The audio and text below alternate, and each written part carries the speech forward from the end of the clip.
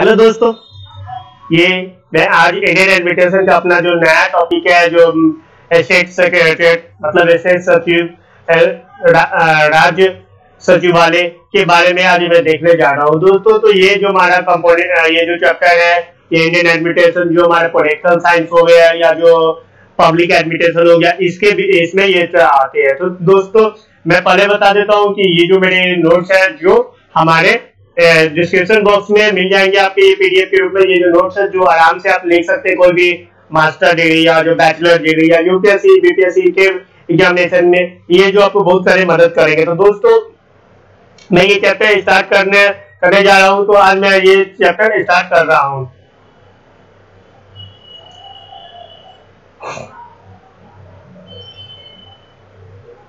अच्छा दोस्तों इस चैप्टर में मैंने मैं देखता हूँ कि हम लोग देखेंगे क्या, कि क्या देखेंगे। सबसे पहले आप मीनिंग क्या होता है स्टेट सेक्रेट का मतलब राज्य राज्य सचिवालय का।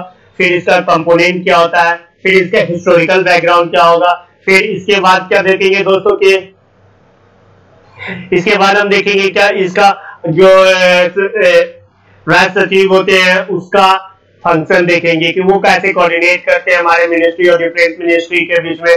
फिर वो जो स्टेट सेक्रेटरी um, होते हैं जो सेंट्रल सेक्रेटरी के या कैबिनेट सेक्रेटरी के साथ कैसे वो कोऑर्डिनेट करते हैं और उसके बाद कैसे वो प्लानिंग ऑफ़ और इम्प्लीमेंटेशन ऑफ़ प्रोग्राम में स्कीम में हम मदद कर करते हैं ये लोग देखेंगे ठीक है दोस्तों तो मैं अपना चैप्टर स्टार्ट करता हूँ। मैं फिर से बता दे रहा हूँ कि ये जो नोट्स है, ये नोट्स हमारे डिस्क्रिप्शन बॉक्स में मिल जाएँगे। आप इस पे वीडियो पे कमेंट होंगे तो कीजिएगा जो कमेंट आपको करना होगा। ठीक है दोस्तों तो मैं सबसे पहले meaning of the state secretariat का देख लेता हूँ।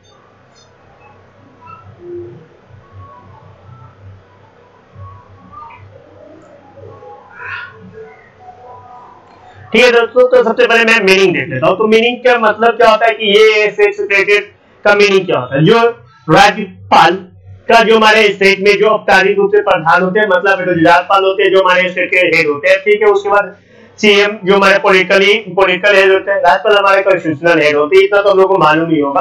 तो जो राज्यपाल का जो कार्य कार्य कार्य होता है, वो हमारे जो, राज्य सचिवालय देखते हैं। मतलब कि जो हमारे राज्यपाल हो गए या जो हमारे सी ज़्यादातर स्टेटों में जो हमारा सीएम होंगे फिर सीएम का जो ऑफ़िस होता है, उसका जो राज्य सचिवालय वो देखता है, ठीक है? तो इसका जो मतलब कि ये इसका एक पूरा हायरकल मैनर होता है मतलब कि जो इसके सचिव होते हैं उसके नीचे एडिशनल एडिशनल सेक्रेटरी होते हैं, फिर उसके बाद क्या होता है, उसका एक स्टाफ होता है group of member of staff staff होते हैं, फिर उसके बाद हम लोग देखते हैं, ठीक है? तो दोस्तों, आगे बढ़ते कि राज्य प्रशासन में ये प्रमुख पॉलिसी मेकर होते हैं, ये पॉलिसी बनाते हैं। उसके बाद जितना भी लॉ होता है लॉ फॉर्मेशन जो लॉ ड्राफ्ट होता है हम देखेंगे कैसे ये ड्राफ्ट करते हैं, जो हमारा जो स्टेट असेंबली में जो ड्रॉप ड्राफ्ट बना, बनता है, जो बिल आता है, वो सब यही लोग बनाते हैं। ठीक है दोस्तों?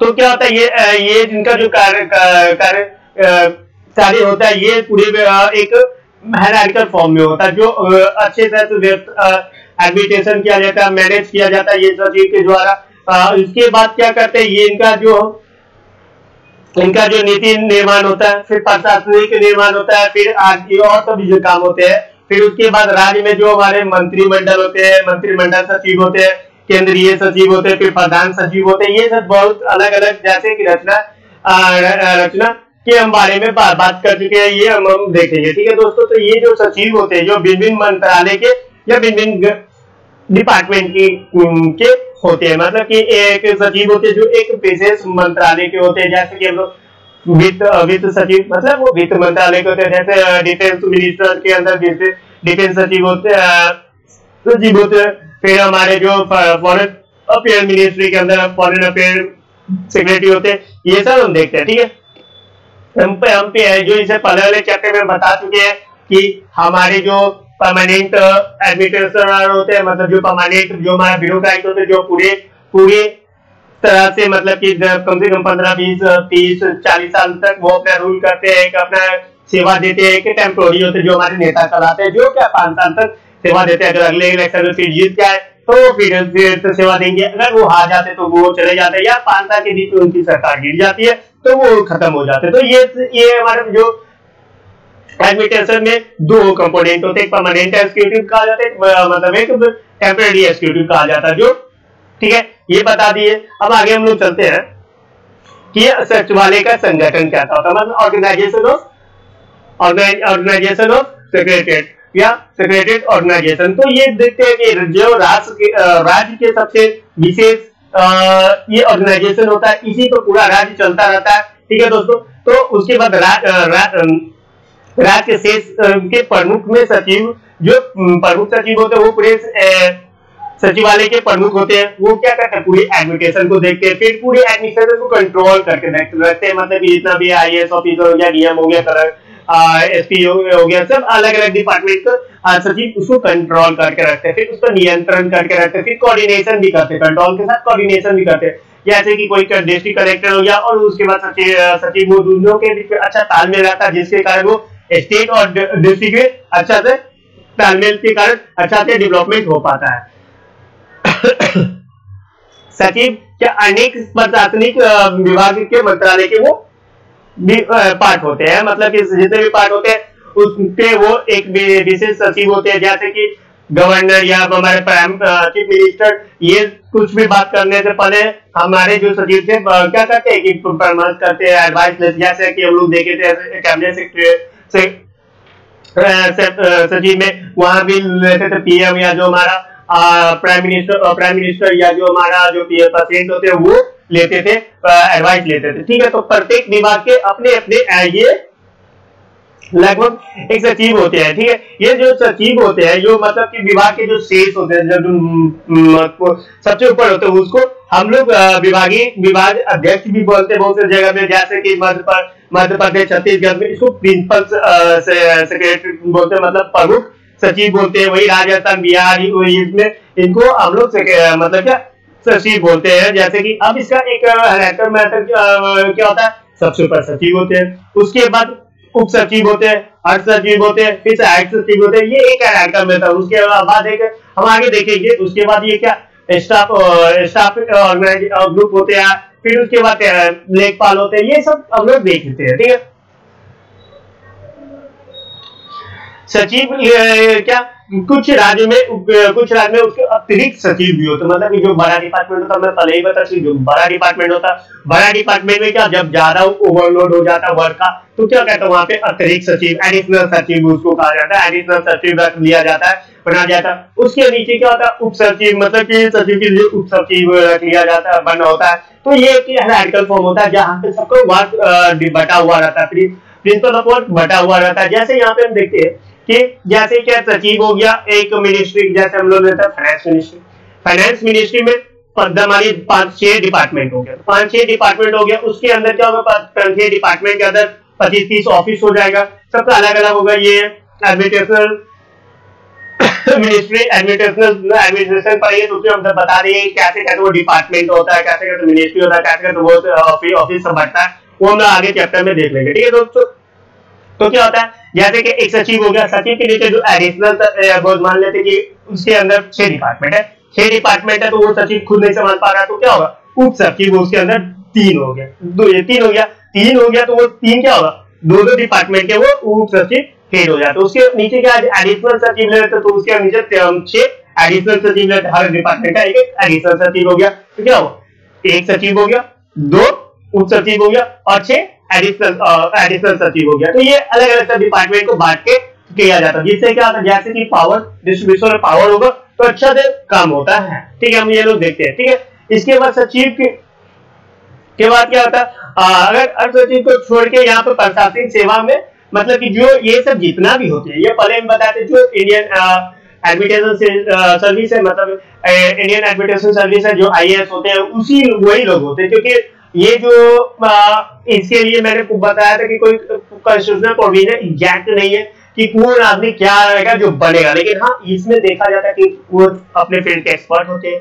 वो एडमिनिस्ट्रेशन करने आता है उसको उनको फिर मैनेज करने आता है। तो ज़्यादातर ये जो आई ऑफिसर होते हैं वही सचिव बनते हैं ठीक है? लेकिन कभी कभी सीएम या पीएम अपने अपने मुताबिक किसी भी आदमी को बना सकते हैं, लेकिन वो आदमी उसके क्वालिफाइड होता है तो। अगर नहीं क्वालिफाई हुआ, कोई पीएम मानते कि कोई पीएम किसी को बना लिया, रात चलते आदमी को बना है तो क्या होगा? मीडिया फिर जो हमारे जो जनता है, वो आवाज़ उठाएगी क्योंकि वहाँ पे वो लोग गलत करते हैं, ठीक है? सचिवालय में एक पुस्तकालय भी होता है और एक रिकॉर्ड रूम होता है। मतलब कि ये पुस्तकालय के साथ साथ एक रिकॉर्ड रूम भी होता है, जहाँ पे क्या पूरा रिकॉर्ड का वेल मैनेजमेंट रहता है। ठीक है पुस्तकालय भी होता है, जो आपको पूरे लॉ कंस्टिट्यूशन ये सब रहते हैं, वहाँ पे जाके वो लोग जगह जगह पे मतलब बार बार जाके वो अपना ज्ञान को और वृद्धि करते हैं, क्योंकि सभी लोगों के पास उतना तो ज्ञान पे स्टोर करने की कैपेसिटी जैसे ना बुक में। तो क्या करते वो लोग भी अपने पढ़ाई का वो जो लॉ को दिक्कत होता है, वहाँ पे जाके लॉ से देख लेते ठीक है, लेकिन ये छठे वेतन के मुताबिक यहाँ पे जो हमारे राज्य सचिव है, उसका लगभग अस्सी हज़ार रुपया होता है। ये भी स्टेट टू स्टेट चेंज होता रहता है, क्योंकि स्टेट गवर्नमेंट के ऊपर है कि कितना सैलरी दे। जैसे कि हमारे जो दिल्ली गवर्नमेंट है, वो हमेशा ज़्यादा एमएलए को हमेशा ज़्यादा ज़्यादा पैसा देती है। वैसे क्या, यहाँ पे भी सचिव का पैसा चेंज होता रहता है, ठीक है दोस्तों? तो यहाँ पे देखते प्रत्येक विभाग के, जितने भी विभाग के सचिव होते उसके अंदर एक hierarchical group of office office officer होते हैं। या जैसे कि आप देखते हैं, प्रमुख प्रमुख अनुभाग अधिकारी होते हैं। उसके बाद लिपि वर्ग के अधिकारी होते जो देखभाल कहा जाता है। फिर उसके बाद लिपिक होते हैं। फिर सहायक लिपिक होते हैं, फिर टेपराइटर होते हैं। फिर उसके बाद चौथे श्रेणी के जो हमारे स्टाफ होते हैं, वो होते हैं। तो ये क्या क्या है फॉर्म है, जो सब जगह होते हैं, ठीक है? अब प्रशासनिक सुधार सुधार आयोग के मुताबिक ये क्या बोला गया कि कम से कम सचिव की संख्या दस से ज़्यादा नहीं होना चाहिए। जैसे कि ज़्यादा सचिव हो जाएगा, जैसे कि अब सचिव क्या, हम पहले ही बोलते कि छोटे छोटे मिनिस्ट्री का तीन चार मिनिस्ट्री को मिला के एक सचिव होते हैं, या जो बड़ा मिनिस्ट्री होता है, उसका एक सचिव होता है। तो इनके जो एआरसी रिपोर्ट के मुताबिक क्या, ये बोले थे, दस से ज़्यादा राज्य में सचिव नहीं होना चाहिए। कि जब ज़्यादा राज्य में सचिव होगा तो भी बुरी होगी। क्या वहाँ पर ज़्यादा कलेक्स होगा? कलेक्स लड़ाई ज़्यादा होगी, जब एक सचिव, दूसरे सचिव से लड़ेंगे। सीएम को अगर बात नहीं मिला सचिव तो वहाँ लड़ाई होगी। फिर यह क्या होता है, जो मिनिस्टर होते हैं, उसके बात नहीं मिला सचिव से लड़ाई होगी। तो क्या होता है, ये सब लड़ाई होती रहेगी। ये हम लोग को बहुत सारे मुआवजा भी देखने को मिलता है कि जिसके कारण वही बोलता है कि ज़्यादा हम लोग को आदमी नहीं रखना तो बस वैसा आदमी रखना चाहिए जो वेल मैनर हो वेल एथेंटिक कम में काम करे। कम आदमी चाहिए, हमें काम हो जाए क्यों होना चाहिए ठीक है? तो इसके बाद प्रमुख प्रमुख सचिव भी होते हैं, ठीक है? तो उसके बाद क्या होता है? अगला जो हमारा टॉपिक है क्या मुख्यमंत्री सचिवालय का एक राज्य सचिव का ही भाग होता है। मतलब मुख्यमंत्री सचिवालय होता है मतलब मुख्यमंत्री का जो ऑफ़िस होता है, वहाँ पर सचिवालय होता है। ये राज्य सचिव के लिए भाग होते हैं, ये उसी का काम होता है। अब फंक्शनिंग देख लेते हैं, हमारे जो सचिव का जो सेक्रेटरी का है। सचिवालय का जो फ़ंक्शन है वो देख लेते हैं। सचिवालय का भिन्न भिन्न भिन्न प्रकार के ऑफिसर होते हैं। बहुत अलग अलग प्रकार के ऑफिसर का अलग अलग काम होता है, ठीक है? जो हमारे शासन सचिव के अंदर मतलब के अंदर स्टाफ को नियंत्रण करके, शासन सचिव के अंदर स्टाफ को नियंत्रण करके रखता है। फिर उप सचिव होता है, फिर सचिव के सहायक होते हैं। फिर समय समय पर सचिव के द्वारा जो कार्य सौंपे जाते हैं, वो सहायक लोग उसको क्या अच्छा से अच्छा से काम करके देते हैं। फिर वो काम करके देंगे सचिव जी को देंगे। सचिव जी किसको देंगे? तो अपने मिनिस्टर को देंगे। और मिनिस्टर किसको देगा? मतलब कि मिनिस्टर हमारे यहाँ स्टेट में सीएम को देता है। वो सीएम उसको पूरे प्रोग्राम और पॉलिसी को अच्छे से देखते हैं। फिर सीएम को यह समझाया जाता है कि ये प्रोग्राम का ये हमें अच्छा है ये प्रोग्राम का ये बुराई है तो सीएम उसको क्या करेंगे? वो इम्प्लीमेंट करते हैं। इससे पहले हमने देख लिए थे क्या? सचिव क्या पर्दे के पीछे आके काम करते हैं? पर्दे के आगे कौन हमारे लीडर होते हैं? लीडर जो अच्छा काम करता है बढ़ाई लेगा। फिर जो बुराई काम, बुरा काम करेगा तो उससे अच्छा बड़ा अच्छा बुरा हम लोग बोलते हैं। तुमने की क्या? यहाँ पर लीडर को बोला जाए यहाँ पर सचिव लोगों को या ऑफिसर लोगों को नहीं बोला जाता, क्योंकि ऑफिसर लोग ना बवाई लेते हैं ना बुराई लेते। हैं ठीक है? इसके इसके अनु, अनुभाग में तो जो अधिकारी है वो एक पूरा हराकर मैनर है। उसके बाद फ़ाइल भी क्या होता है? फ़ाइल भी हराकर मैनर भी जाता है। मतलब की जगह होता है जैसे ऊपर से सचिव कुछ ऑर्डर दिया जैसे कोई हम लेते क्या? एक कोई प्रोग्राम लेते। जैसे कि हम लोग ठीक है जनधन जनधन योजना ले लेते। ठीक है जनधन योजना आ, वो तो स्टेट का प्रोग्राम स्टेट का प्रोग्राम नहीं है। जैसे कि हम लोग लेते बिहार का सबसे बढ़िया क्या? कि हम लोग ले लेते बिहार का जो मतलब कि स्कॉलरशिप मिलने वाला है। जैसे बिहार स्टेट गवर्नमेंट स्कॉलरशिप देगी, ठीक है? मैट्रिक वाले पर बच्चे को दस हज़ार का मिलने वाला है, ठीक है? तो उसका क्या होता है? ये गवर्नमेंट क्या करेगी?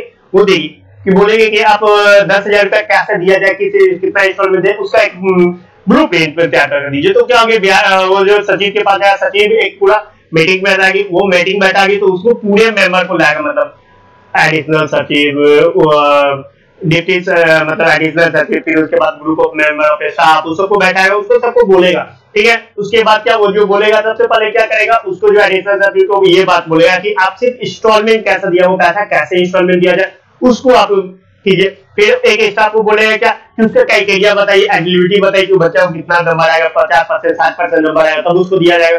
फिर एक स्टाफ को बोला जाएगा कि कौन सी जाति का बिलोंग होना चाहिए, कौन वो ओबीसी होना चाहिए जेंडर होना चाहिए एसटी होना चाहिए एसटी होना चाहिए, ये सब के बारे में बताइए कि एसटी को कितना पैसा मिलना चाहिए ओबीसी को कितना पैसा स्कॉलरशिप मिलना चाहिए, और जेंडर को कितना पैसा ओबीसी मतलब ये पैसा स्कॉलरशिप मिलना है, क्या हो रहा है? सब जो हमारा डिस्ट्रीब्यूशन हो रहा है वर्क वो बांट दी जा रहा है तो एक अभी विशेष जो काम होते हैं, जो वो जो स्कॉलरशिप का इंस्टॉलमेंट के बारे में बताएगा कि दस हज़ार रुपये एक ही बार में दे देना चाहिए दो तीन बार में देना चाहिए तो वो बताएगा तो वो अपने वर्क को अच्छे तरह से करके, फिर वो अच्छे तरह से सब काम करके, वो कहा सचिव के पास आएगा तो वो एक फ़ाइल बनेगा। वो फ़ाइल को क्या?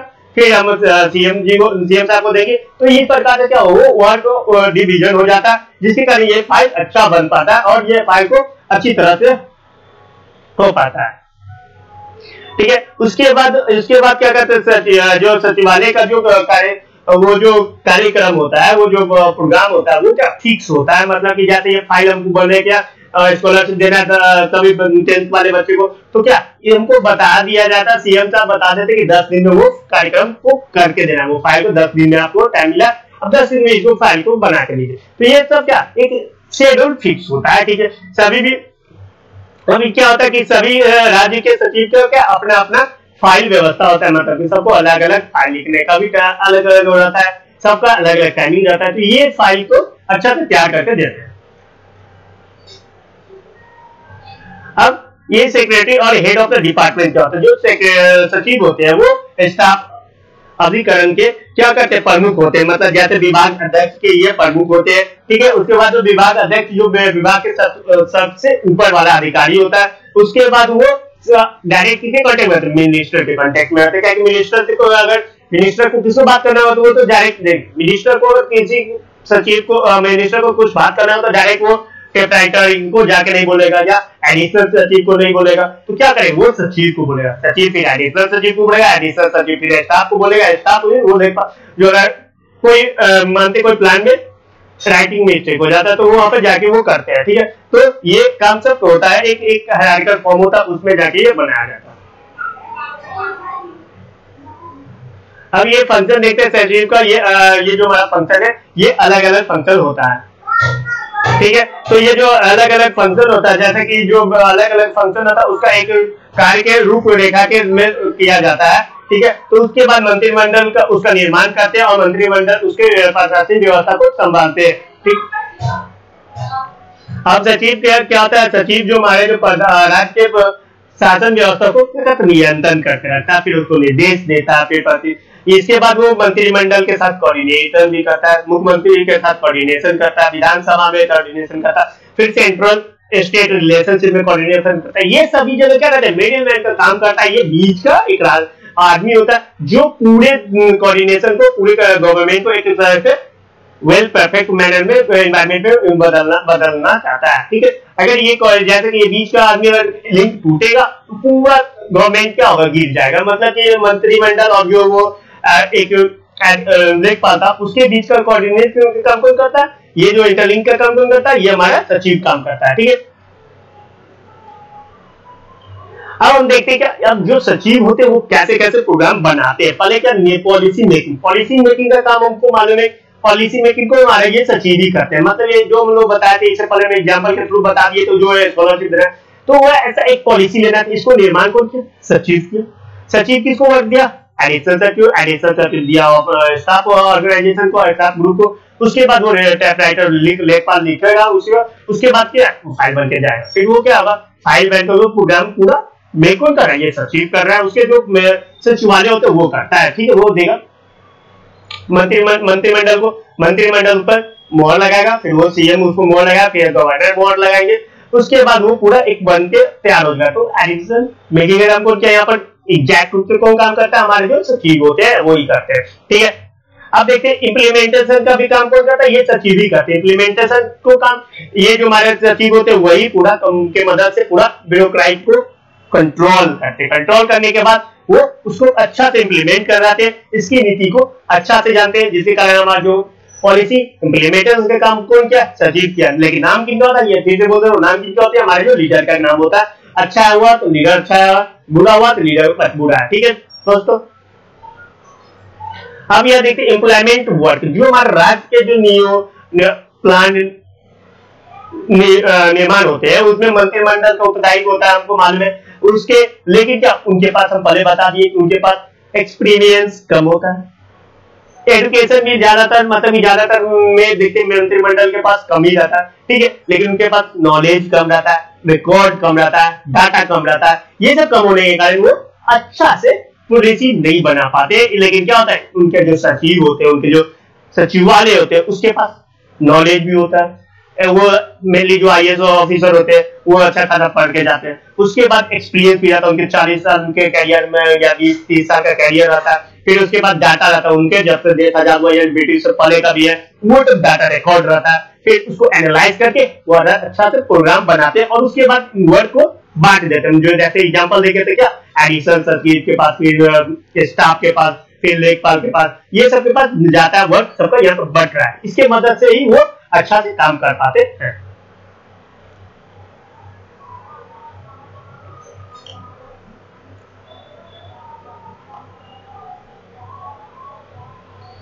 अब कैबिनेट वर्क जैसे क्या कैबिनेट वर्क में हम लोग पहले कैबिनेट वर्क में पहले भी देख चुके हैं, यहाँ पर क्या जैसे क्या होता है कि यहाँ पर बहुत सारे सचिव सचिव का काम अलग अलग होता है। जैसे कि कैबिनेट मीटिंग होता है, कोई भी एजेंडा होता है। ये पिछले चैप्टर में भी हम लोग देख लिए थे क्या?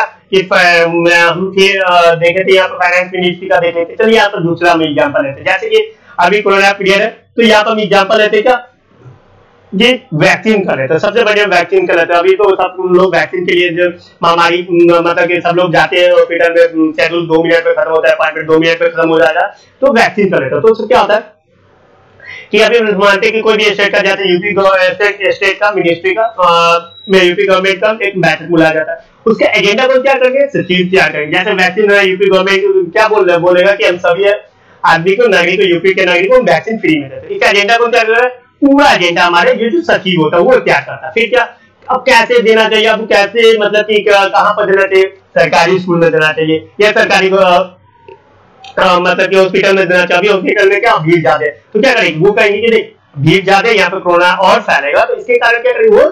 सरकारी स्कूल कर देंगे। भी सरकारी स्कूल बंद है। स्कूल का बंद है? या कोई भी प्राइवेट स्कूल है बड़ा बड़ा स्कूल है, उसमें बोलेगा कि ठीक है, हम इस, वहाँ पर जाके मैनेज करेंगे। मतलब जो हमारा हेल्थ स्टाफ है, वो दस पंद्रह आदमी का टीम जाएगा और वहाँ पे वैक्सीन लेके जाएगा और वहाँ पे सरकारी स्कूल में जाकर देगा। तो क्या होगा? इससे क्या होगा? कोरोना का जो फैलने का संभावना ज़्यादा था वो कम हो जाएगा, क्योंकि वहाँ पे हम लोग अगर हॉस्पिटल में जाएँगे तो वहाँ पर हॉस्पिटल में मरीज़ लोग। तो उससे हम लोगों को डर लगता है। तो इसीलिए क्या ये पूरा एजेंडा कौन तैयार कर रहा है? पूरा फ्रेमवर्क कौन क्या कर रहा है? सचिव कर रहा है। उसको हम लोग सचिव के द्वारा ही सीएम साहब को समझाया जाएगा, वो सीएम साहब ऐसा करते हैं, ठीक है? उसके बाद मंत्रिमंडल का जो व्यवस्था होता है, जो विवेक होता है जो बिल होता है, उसका भी कौन फॉर्मुलेशन करता है? सचिव करता है। ड्राफ्ट कौन करता है? सचिव करता है। मतलब सचिव का मतलब सचिवालय करता है, उसके जो ग्रुप ऑफ़ मेंबर तो वो सब करते हैं, ठीक है? उसके बाद राज्यपाल का जो मतलब कि उसके बाद मंत्रिमंडल का ओथ, ये जब मंत्रिमंडल का स्पीच सीएम का स्पीच जो या जो हमारा मिनिस्टर का स्पीच या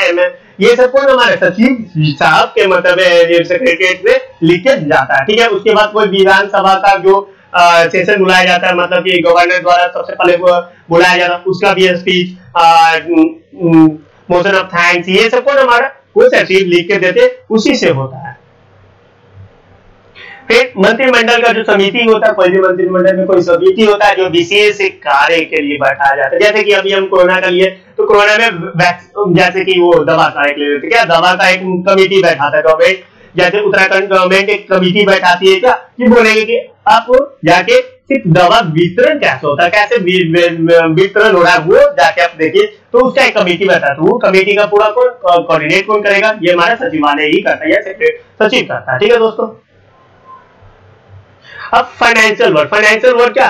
राज्य के सचिवालय क्या, प्रदेश के जो फाइनेंशियल नीति को रूपरेखा निर्धारित करता है, क्योंकि जो financial power to make important component है हमारे गवर्नमेंट सिस्टम का तो कैसे वो रूपरेखा कैसे हमको कौन से मिनिस्ट्री को कितना पैसा देना है हेल्थ मिनिस्ट्री को कितना पैसा देना है finance ministry ministry railway ministry को मतलब पुलिस डिपार्टमेंट को कितना पैसा देना है, ये सब कौन हमारा वित्त मंत्रालय का जो सेक्रेटरी तो वही पैसा का डिस्ट्रीब्यूट करता वही अपना रिपोर्ट किसको भेजेंगे?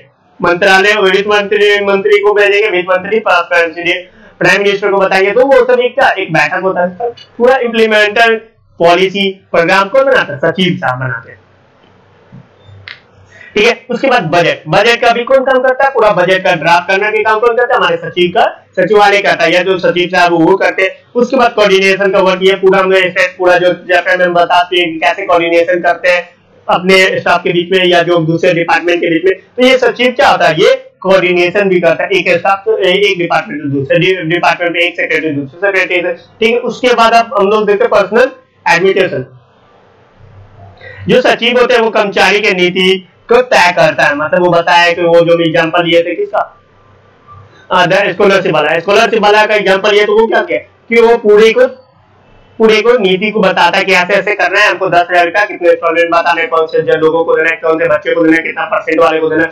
ये पूरा नीति को बताता है। तो उससे क्या होता है पूरा एक बनता है वो बनाते हैं। ठीक है उसके बाद विभिन्न जो सेवा से, लोक सेवा के जो अधिकारी होते हैं वेतन भत्ता ये अलाउंसेंस या जो होते हैं सबको भी ये लोग बताते हैं कि इतना आदमी को इतना चीज़ देना चाहिए। ठीक है दोस्तों?